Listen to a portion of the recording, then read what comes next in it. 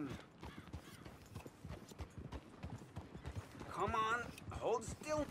Lord have mercy. Shit.